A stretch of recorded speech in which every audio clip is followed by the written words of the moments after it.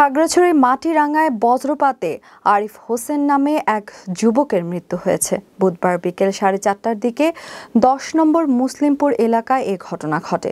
নিজ বাড়ি থেকে পাশের বাড়ি যাওয়ার সময় বজ্রপাত হলে ঘটনাস্থলে তার মৃত্যু হয়। আরিফ হোসেন স্থানীয় আবুল হোসেনের ছেলে। মাটিরাঙ্গা থানা অফিসার ইনচার্জ মোহাম্মদ জাকারিয়া ঘটনার সত্যতা নিশ্চিত করে বলেন, খবর পেয়ে পুলিশ ঘটনাস্থলে পৌঁছেছে। অভিযোগ না থাকায় অভিভাবকের নিকট লাশ হস্তান্তর করা হয়েছে।